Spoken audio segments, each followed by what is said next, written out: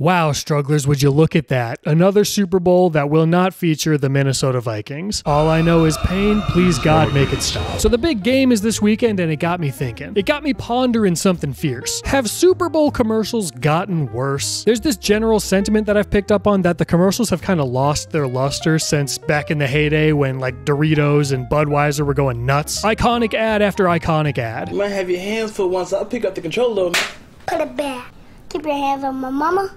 Keep your hands on my Dorito. and I wanted to know what other people thought, so I asked some people that I know, and all of them seem to agree that the recent ads aren't nearly as memorable as they used to be. And I go on, I surf the web. You know, I'm reading through threads. Everybody else also seems to agree. They're not as good as they used to be.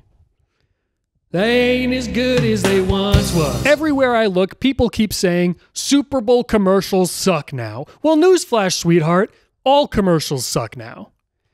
And then I have a note that says cut to Lumi ass crack cream commercial. Hits, under boob, bifolds, butt crack. I wonder if maybe we're just exposed to too much media at all times, especially advertising, that we're just kind of numb to it now? Are you more likely to remember one good thing you had at a buffet or a delicious steak from an expensive dinner? I don't know. I'm just a guy with access to an archive of every commercial ever made and an advertising degree that's been burning a hole in my pocket for the last six years. You know how doctors get a little card on their video that says they're a professional and should be qualified to talk about whatever they're talking about? I want one of those for advertising. So here's what I did I spent a bajillion hours, give or take, okay, watching every single Super Bowl commercial that has aired for at least the last 25 years. And I'm here to tell you my observations if you're keen to hear them. The world didn't exist before I was born, and you all started Truman showing me, so we're gonna start with the 90s.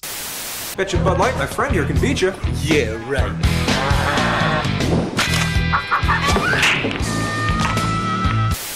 In general, you can't really put a decade into a neat little box. Like, were the 70s all about disco? Yeah, maybe to some people. But what about the Watergate scandal and the anti war movement?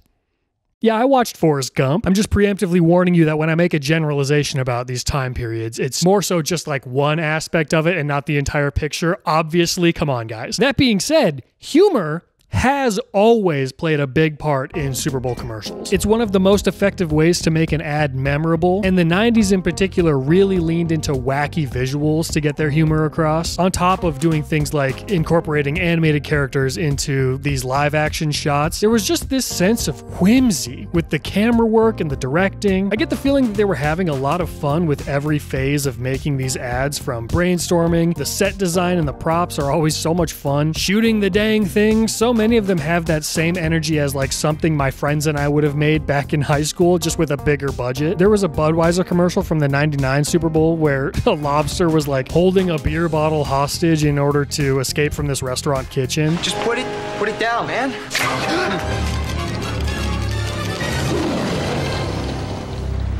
Guess I'll have the steak. It's so dumb. I just I want you to know I am going to go buy Budweiser after I'm done filming this. Cheers to whoever wrote that goofy commercial from 25 years ago because you just made a sale. So we're just dipping our toes in here, okay? I wasn't born yet in the 90s. I mean, that's not true. I was I was born. I wasn't there. I was there, but I wasn't. You know what I mean? But I do think that it was worth at least touching on briefly because the 90s, the Super Bowl commercials in the 90s, planted a lot of seeds for what was to come later. They were experimental and full of really interesting production, and in that way, they are T Pain's Stoic mixtape. Uh, I've been watching Funky, and he compares a lot of things to old Weezer projects, so I'm going to do that with T Pain because he's one of my favorite artists. Shout out Funky. oh, God, right, okay. Uh, yeah, here's one more commercial that we have to talk about. I wonder what this one's gonna be. Thank you to Helix for sponsoring this video. I hope you guys are getting hyped for that sleepover that I talked about. I just got word that we are getting food catered in, so it's going to be a night to remember. Helix makes premium mattresses and bedding that are customized to fit your needs and sent straight to your door for free if you live in the US. It's as simple as taking the super quick Helix sleep quiz on their website, and they'll use those answers to match you to a mattress that should be perfect for you. We've had a Midnight Lux for years now, and I wouldn't trade it for the world. Just to clear things up, in case you missed it, um, when I showed the sleep quiz on screen, uh, I was well. Let me just walk you through it. So I selected side sleeper, and then medium firmness. So that is why that that explains why the midnight mattress is the one that we got. I know how much people love anecdotes, so here's a good one to sip on. My family was staying overnight in a hotel last month, and we woke up the next morning, and Jaden had this to say. We sleep in luxury every night. This was awful. and this isn't even that bad of a bed. No, it was terrible. I also just I want to say that um, the mattress is good because we wake up well rested and we wake up with less aches and pains.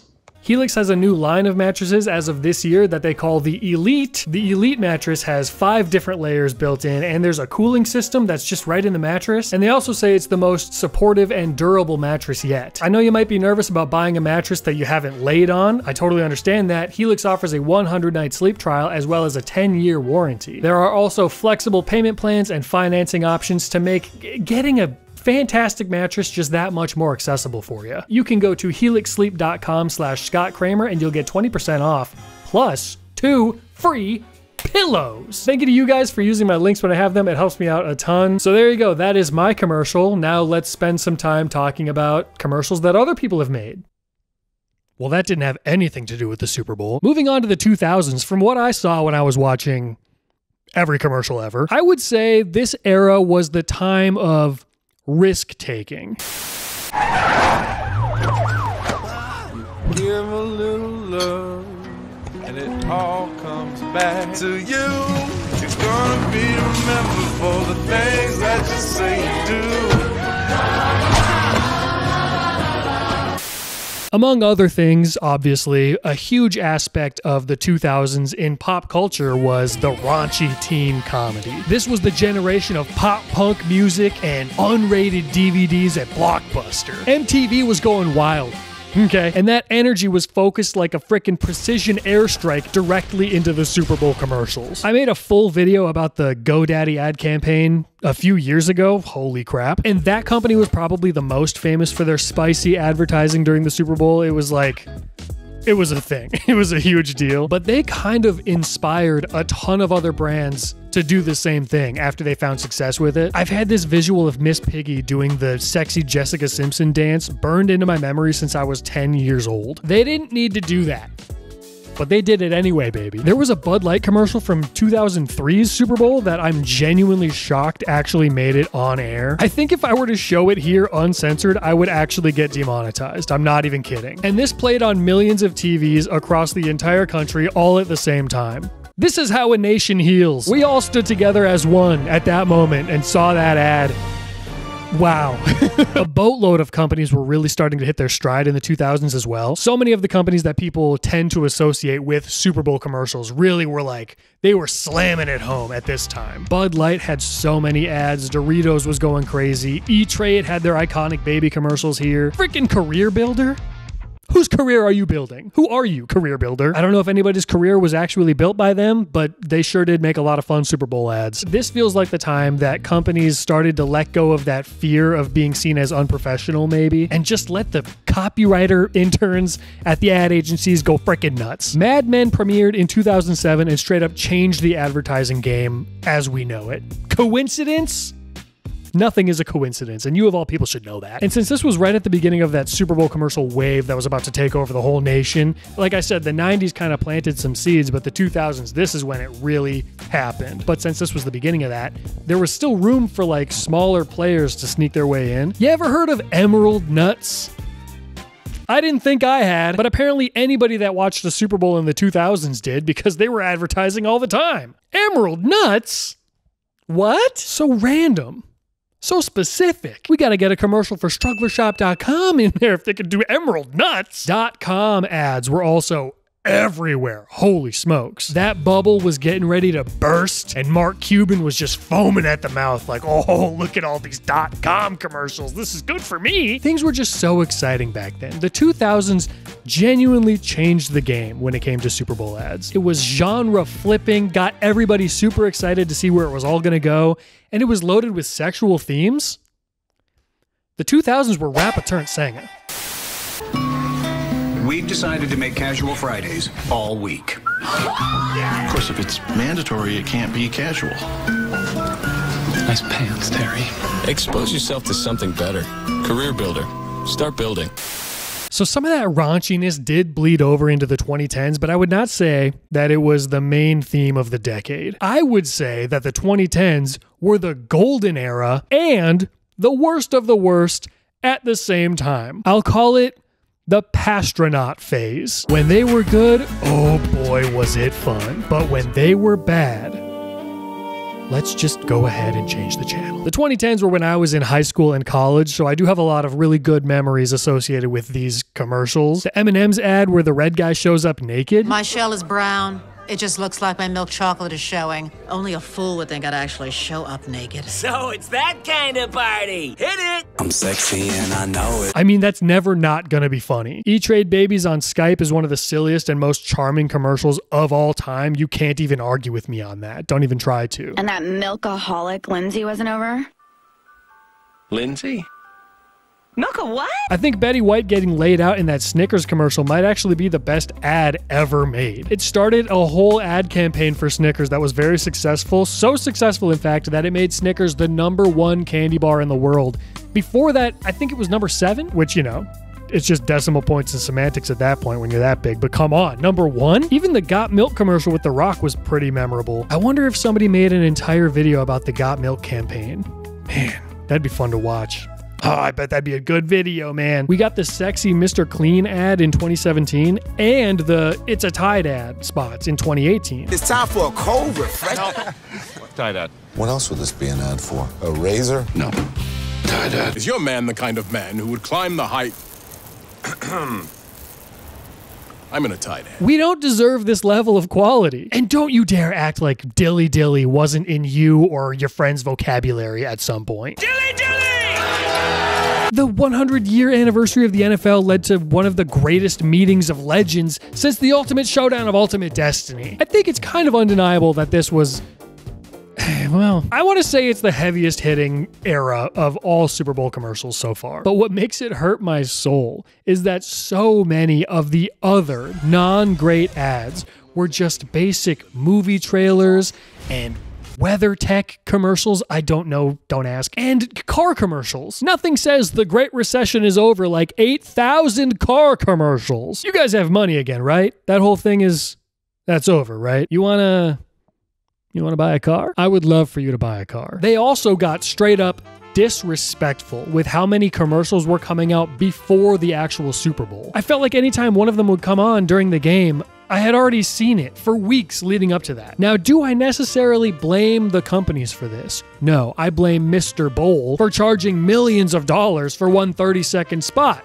Mr. Bowl, you're out of control. It makes sense for the companies to get as much out of these ads as they can, right? And to only play them one time during one game would be financially irresponsible, even if that one time is going to be the most viewed thing on TV for the entire year and talked about for years to come by some schmuck in his living room. But the bummer is that these companies all seem to have decided that they're going to get their money's worth before the commercial instead of just airing it at the big game and then having it continue afterwards. Why is the premiere happening before the event?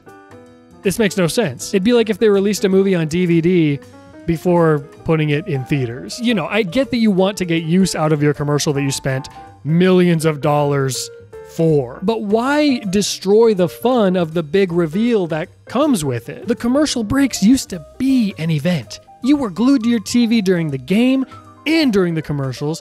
You never could get up to pee. But now the commercials will come on, and I'm like, oh, okay, that's the Bud Light commercial that I saw three weeks ago on Facebook. All right, I'm to get some more buffalo chicken dip, I guess. I mentioned it in my Thanksgiving Day parade video, but getting a float in the parade is so much more bang for your buck than doing a Super Bowl commercial. Both things are iconic, and both things are talked about after the fact. It's so much cheaper to get a float in the parade, but y'all aren't ready for that conversation. Let me just break down the math of a of a super. Let me get comfy first. I'm gonna break down the math of a, a modern day Super Bowl commercial for you. We'll use last year as an example. So a 30 second spot cost seven million dollars, and 115 million people tuned into the Super Bowl. So that comes out to costing about six cents per viewer. If I applied that same equation to my YouTube channel right here, and let's say I guesstimate that a video is going to get 300,000 views. My videos are kind of all over the place but 300,000 seems like something I could achieve. I would be making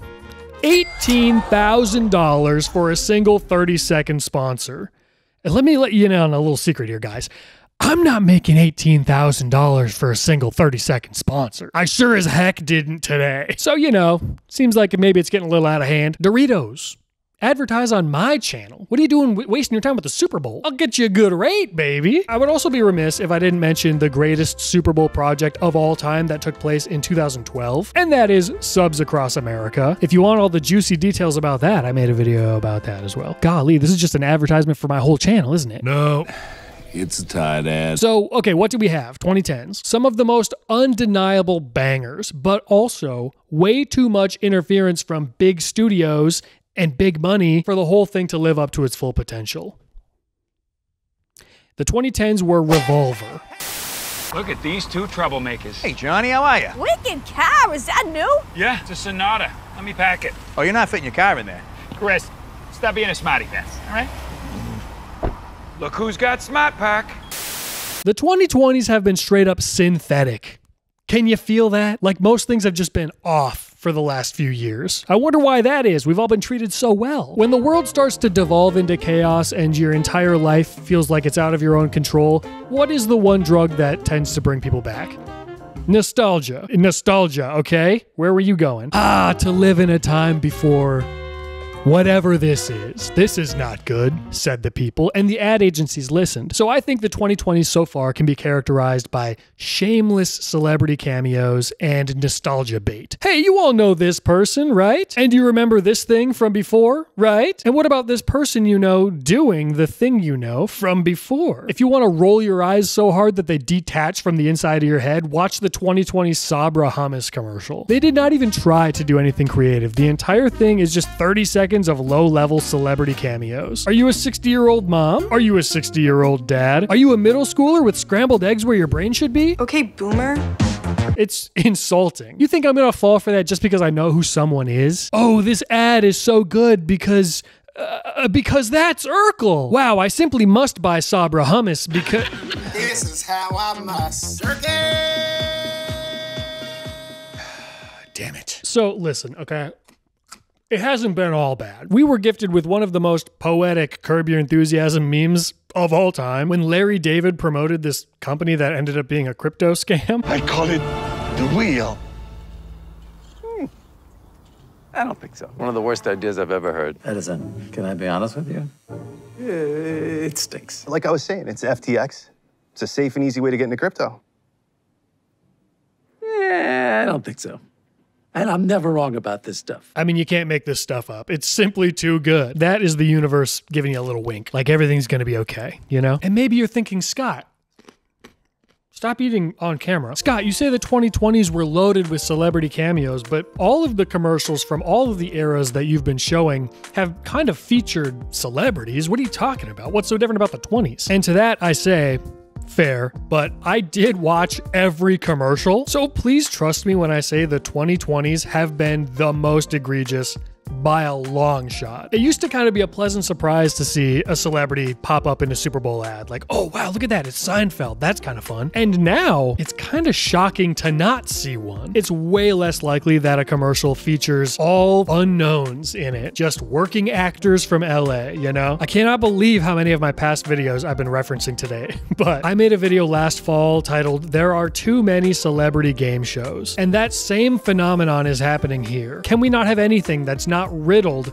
with celebrities. Can't we have a goofy Doritos ad where there's a pug and there's a guy, and I don't know the guy, and I sure as heck don't know the pug. And I'm focused on the product and the funny commercial, and I'm focused on whatever, but I'm not focused on Bryan Cranston. I don't know. I don't know if that matters or if anyone, if it makes sense. What I don't know. It just feels like there's too much celebrity stuff.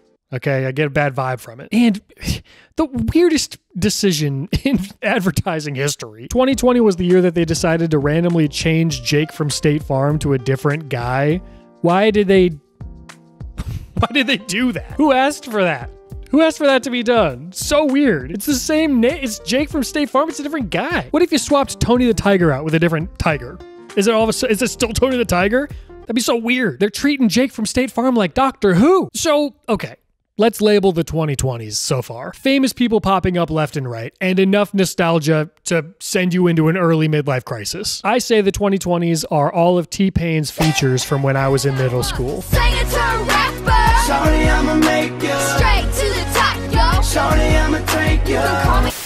So now that we've covered all that, and thank you for joining me for that, maybe we can answer the question from before have Super Bowl commercials gotten worse? Well, objectively, unfortunately, I do not have the sales numbers, so I can't tell you that. But subjectively, I don't know, maybe. I think so. I think, like most things, the magic has simply started to wear off. And not just for viewers. You know, it used to be so fun, so exciting, but after a while, things get old. I think Advertisers feel the same way. It's too expensive, there isn't as much prestige that seems to come with it anymore. There's many reasons why it doesn't feel as shiny as it used to. And that affects every aspect of it from creation to viewing, and it just makes it all feel a little bit worse. I've already seen a ton of Super Bowl commercials from this year, which is strange because last I checked, the day I'm filming this, uh, the Super Bowl has not happened yet. And maybe the most notable one, the one that they've been pushing the hardest, can you guess what it is? The resurgence of the Geico caveman. A little bit of nostalgia?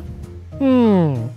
2020s, you're too predictable. All right, well, anyway, I think that's all I got for you today. Now, what you can do is go watch the GoDaddy video, or the Got Milk video, or the Thanksgiving Day Parade video, or the Subs Across America video, or any of them, just any video on the channel that you are interested in. Try to enjoy the Super Bowl this year, even though the Vikings are not playing. I do give you permission to tune out and I, I don't blame you for not wanting to watch it. But thank you for watching this video. All right, extra thank you to my patrons. Those listed here are in the top tier. You guys are so great. I love you so much. Austin, good luck.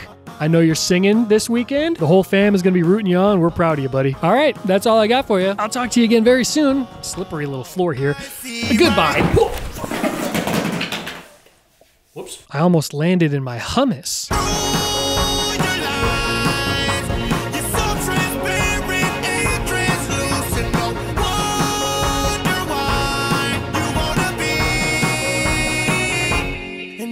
Invisible girl. Oh, invisible girl.